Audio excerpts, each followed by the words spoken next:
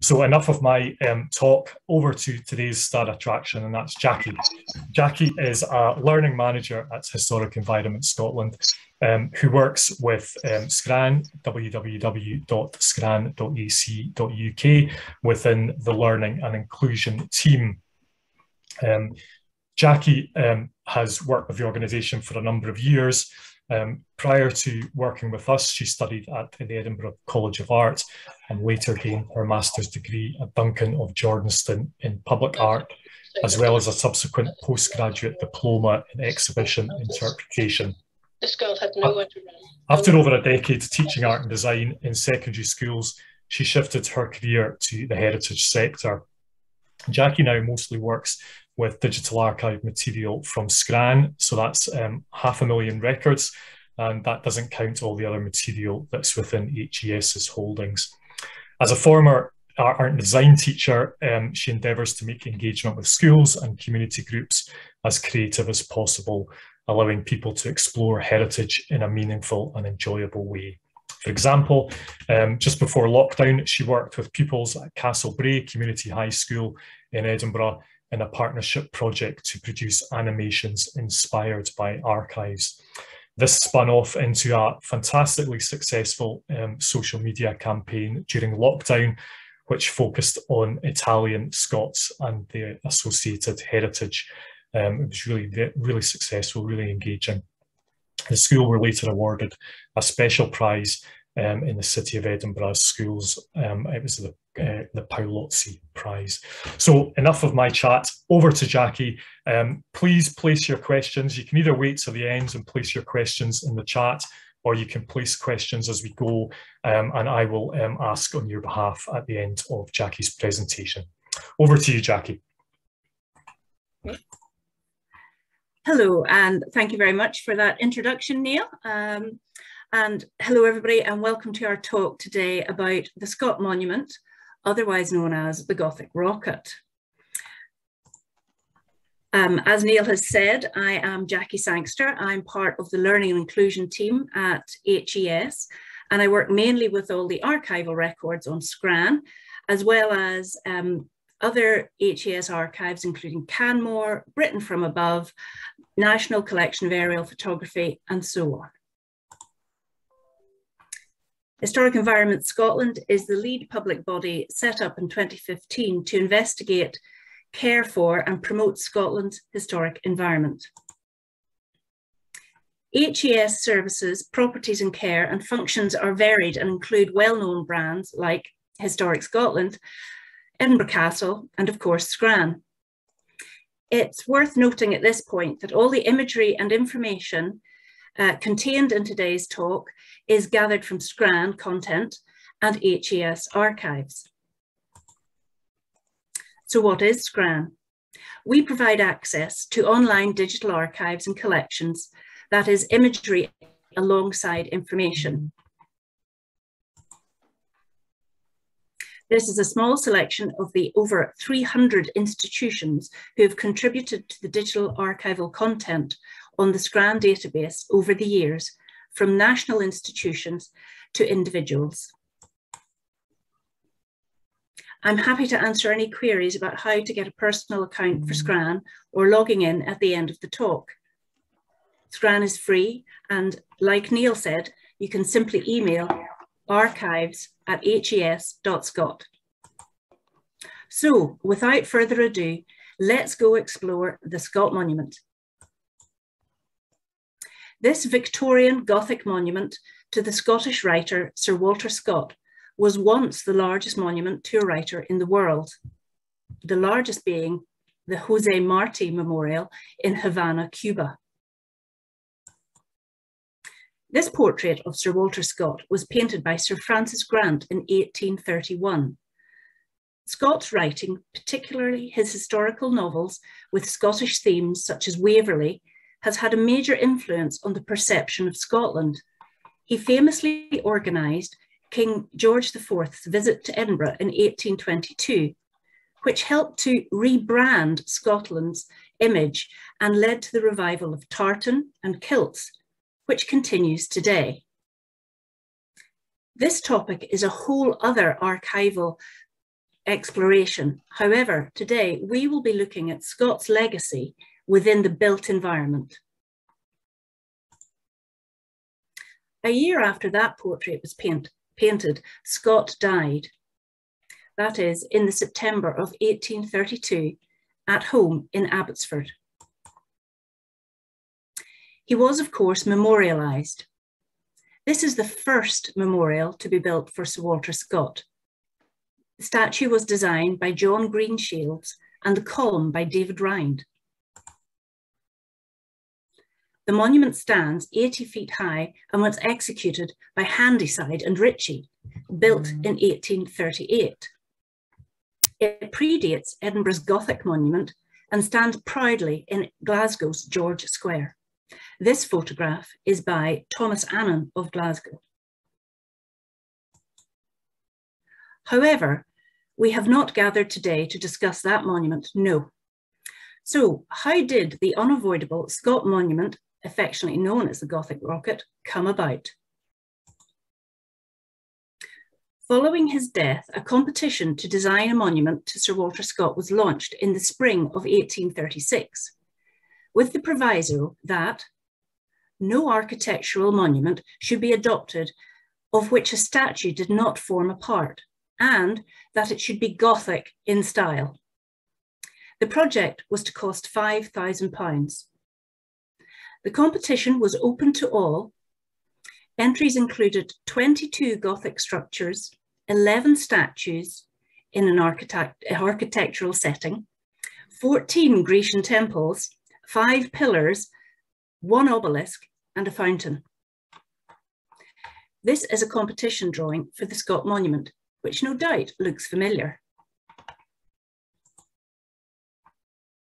Fundraising for the monument started with donations of £500 from five of the Scottish banks one of the earliest responses to the appeal was 1,525 rubles from bankers in St. Petersburg.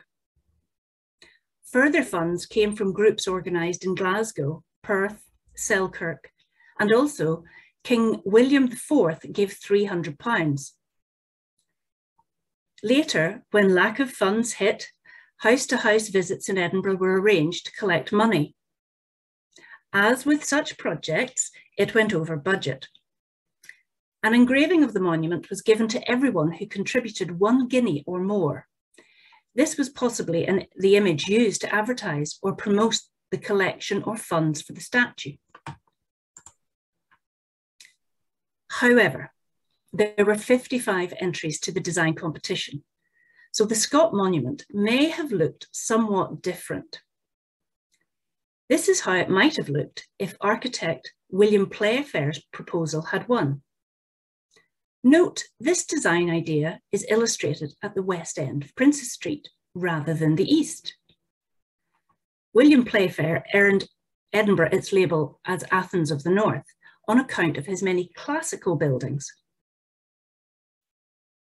often in dramatic sites, which adorn the city. His work includes the Royal Scottish Academy, and the National Gallery of Scotland. You can see how pro proposals varied.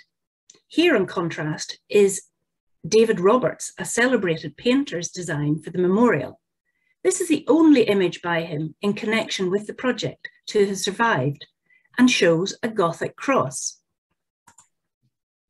Another competition drawing, this one was one of the top three entries and prizes of 50 guineas were offered to the top three designs. Another hopeful design entry, a watercolour and pencil elevation by J. Henderson. Shown here, this time on frames.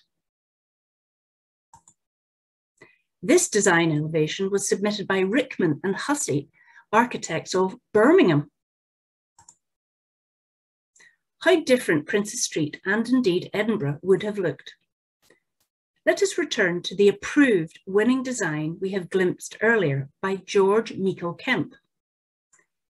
William Burn, another architect who incidentally employed Kemp, said of this design, its purity as a Gothic monument, and more particularly the constructive skill exhibited throughout in the combination of graceful features of that style of architecture, the composition, and in the perfect solidity which it would possess when built.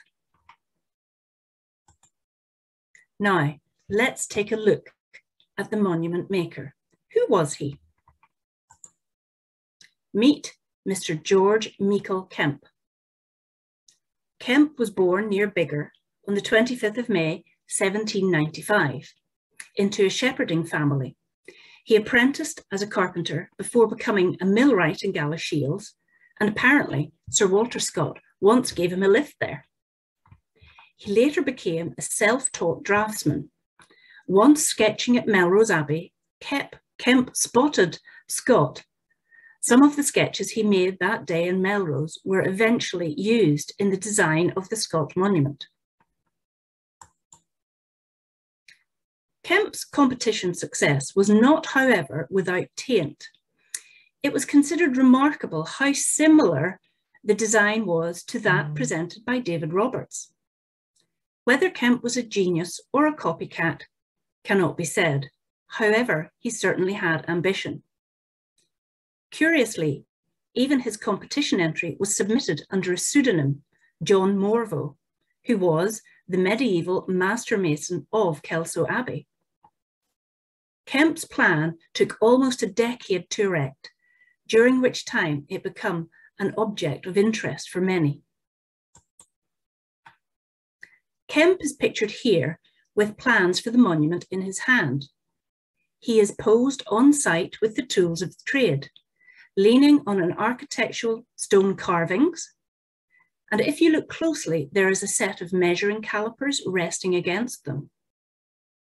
There is also an open toolbox beside him, and his foot is resting on a mason's mell or mallet beside a T square.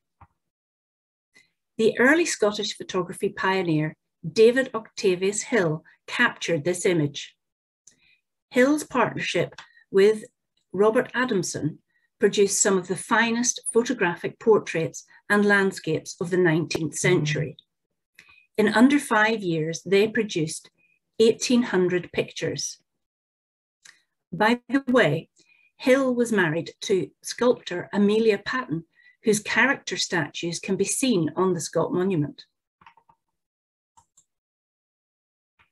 This is a contract drawing by George Meikle Kemp, made in 1841.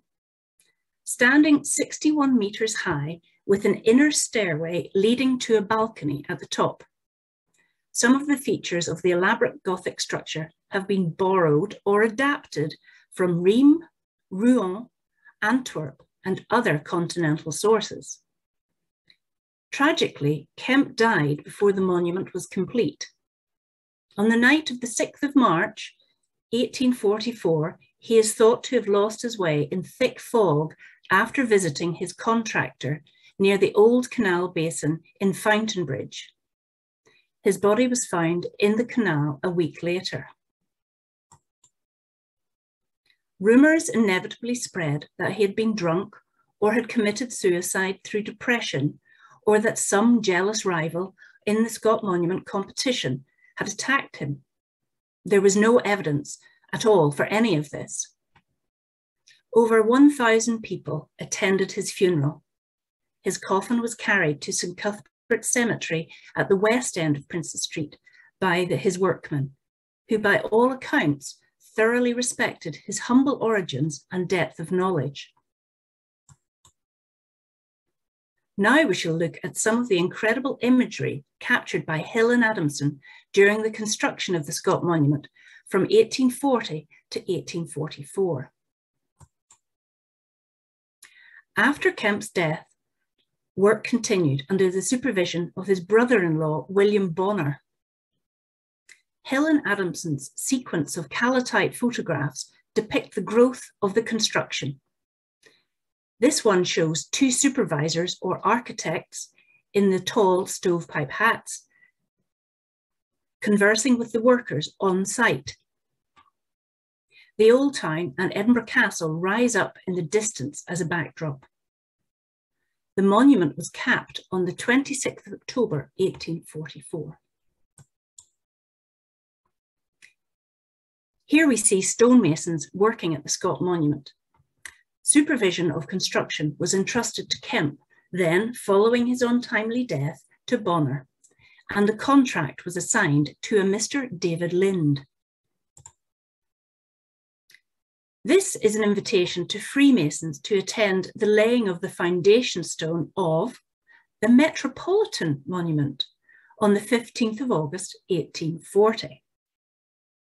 Kemp had convinced the committee to allow a foundation on bedrock to be excavated due to the proposed height of the monument and the fact that the Caledonian Railway Company, who entered Edinburgh from Carstairs in 1848, they proposed to tunnel under Princes Street within just eight feet of the foundation.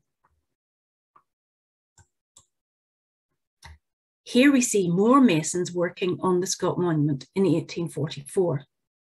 The stone used to build the Scott Monument was Binny sandstone from Uphall in West Lothian.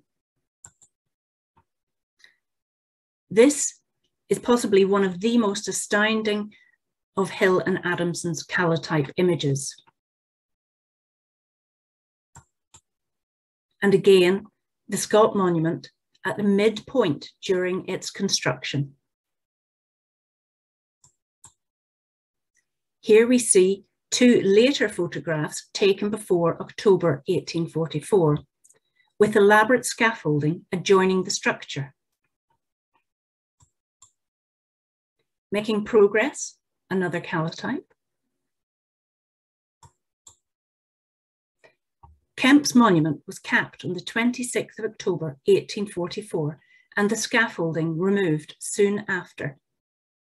It is likely this photograph was taken near the end of 1844 or during 1845. Sculptor John Steell's statue of Walter Scott is missing in this image, as it was installed, wasn't installed until 1846. This drawing is the inauguration ceremony in 1846, showing the massed crowds gathered on the mound near where the Playfair steps are. The image of the monument is rather sketchy, but it conveys well the thousands of people attending. People came from all over. The steamer Britannia had brought three to 400 people from Dundee the evening before. Other ferries had arrived in the morning from Fife, and a train had come from Burns country with hundreds aboard. The procession was described in the Scotsman newspaper as a moving stream of umbrellas with long lines of stationary umbrellas for its banks.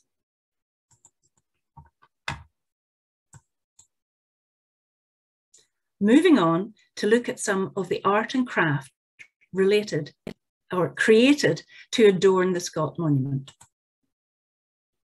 Let's introduce Aberdonian John Robert Steell, probably best remembered for his sculpture of Sir Walter Scott on the Scott Monument. He was sculptor to the Queen, that's Queen Victoria, in Scotland, and knighted for his work.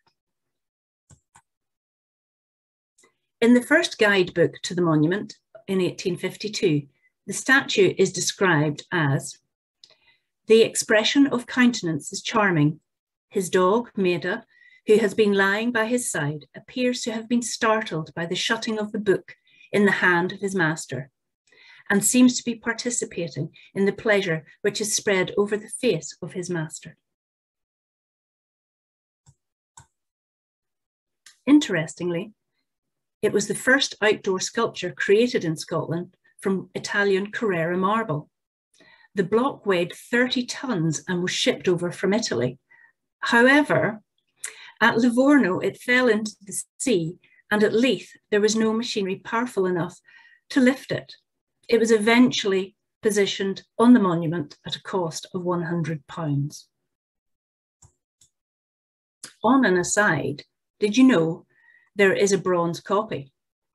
This is a replica statue which resides on Literary Walk in Central Park, New York. It was bought by a group of Scottish New York residents uh, to celebrate the centenary of Scott's birth and was unveiled in 1872. Of course, Scott's figure is not the only sculpture on the monument.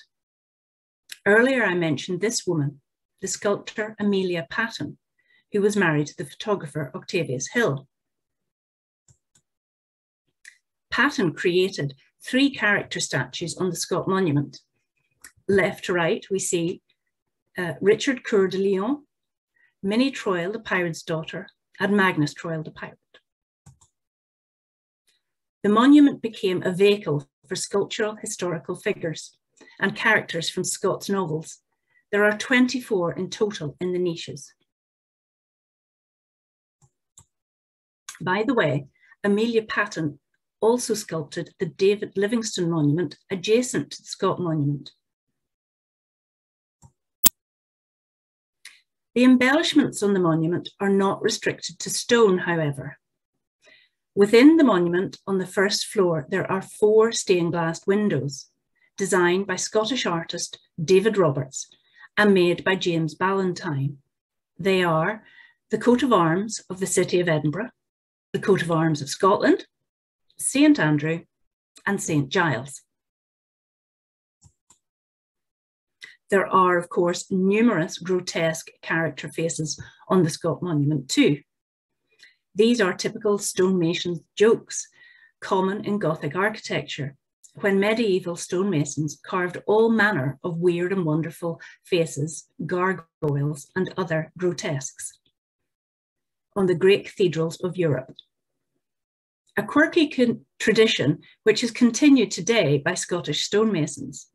You may be aware of the sci-fi alien lurking on Paisley Abbey, for example, which arrived during the 1990s refurbishment there. This figure is Dominie Sampson from the novel The Antiquary, in a very characteristic pose. He has had replacement fingers added. Missing elements and details like these fingers were first modelled in clay and then stone replacements were carved and attached to the statue. This was done for all the damaged sculptural details. The monument, although mighty, is not invincible. Here we see Auld Reekie and the monument shrouded in smoke from nearby Waverley railway station in 1956. Here, the monument looms large behind a snowy tram in 1951. Over a century of exposure to the elements and pollution obviously took its toll. Wear and tear on the building materials has led to different renovation projects over the years. For example, here the St Giles window is being reinstalled in 1968. In the 1990s, it was proposed that the stone should be cleaned and a thorough assessment of the structure be made, and the City of Edinburgh had a complete photogrammetric photogrammetric, I can't speak today, uh, survey was done. Photogrammetry is the method of preparing accurate measurements from photography and is regularly used to survey historic buildings. Photographs were taken in stereo pairs to, to prepare drawings such as this one in 1990. The decision, however, was made not to clean the monument due to the damage it would sustain. However, stone restoration went ahead. This involved replacing old repairs and damaged areas with Binny stone. Therefore, the quarry at Uphall in West Lothian was especially reopened to excavate the stone with which to make the repairs. So up went the scaffolding again, and here it is in 1998. Some of you no doubt recall it looking like this too, festooned with festive lights in 1991. Today, it's almost impossible to imagine Princes Street without the Scott Monument. However, it has not always been there, as surveys show us. Here is a map of Edinburgh in 1836 and definitely Low Scott Monument. 1837, still no reference to a monument. It has not been erected. It has not been started. And here it is. The Scott Monument has landed on Princes Street. This map is from the Ordnance Survey sheet eh, from 1877 to 1881. Our last look here at the map of Edinburgh and Leith, 1912. I just wanted to share this tiny glimpse at some of the beautiful archive maps from National Library of Scotland. Since the dawn of tourism in Scotland, souvenirs, merchandise, and memorabilia featuring the Scott Monument have been popular. Here are a few such keepsakes and paraphernalia found in our digital archive stores. A charming biscuit tin with an embossed image, probably from the 1960s. It once contained biscuits from McVitie and Price, an Edinburgh manufacturer. This striking glass centrepiece was made around 1870 at the Bathgate Glassworks in West Lothian. This paperweight featuring the Scott Monument was made somewhere between 1855 and 1900, and today it is looked after by Perth Museum and Art Gallery. This 1850 curiosity is a floral model of the Scott Monument, complete with Gothic style steeple on a stepped plinth, and there's even a sculpture set beneath the spire and the square corner turrets. Possibly my own favourite item is this Chinese banknote featuring the Scott Monument and Princes Street. Sadly, there's no further information based, uh, on this note, uh, but it's looked after by City of Edinburgh Council. But it certainly shows the international appeal of the man and his monument. This brass replica of the Scott Monument is a thermometer and is looked after by Edinburgh University Library. And this decanter depicting the monument was made by John Ford and Company, Holyrood Glassworks, uh, near the Canongate in the 1800s. Finally, we have the Edinburgh Rose, a souvenir paper fold out pink rose with scenes of Edinburgh. Uh, the illustrated envelope has an engraving of the monument and Waverley Bridge and the castle.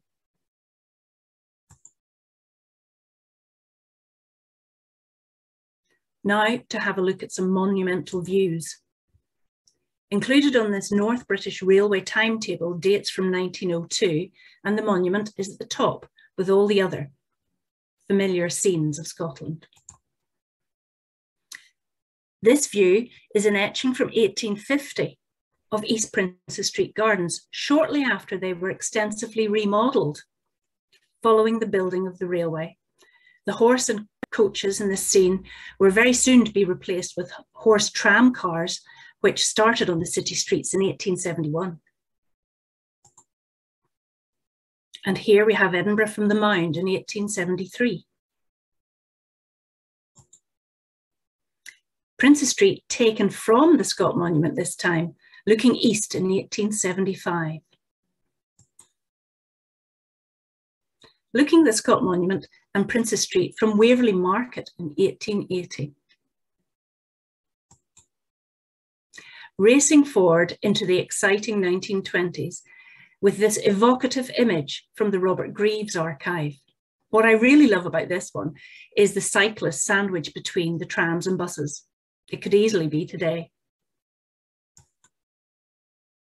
Now taking to the skies with that wonderful From Britain from Above archive in 1925. Dizzying. 1948. And again, another angle in 1948. With Sir Walter Scott looking over us, our archival tour is coming to a halt. This year, as Neil said earlier, we celebrate 250 years since the birth of Sir Walter Scott in 1771. Like this charabanc tour from Grimsby in the 1920s, people have flocked to see the Scott Monument for over 175 years, almost 175 years, and will no doubt continue to wonder at it well into the foreseeable future. Please do not forget to collect your souvenir documentation, which certifies that you have indeed climbed the 287 steps to the top of the Scott Monument today, at least archivally speaking. These have been issued since 1948. By 1949, four and a half thousand had been sold at a penny each. Before I say goodbye, I'd like to thank you very much indeed for listening. I'm happy to answer any questions you might have um, about the Scott Monument itself. And if you would like to, I'd be very happy for you to follow Scran Life on social media.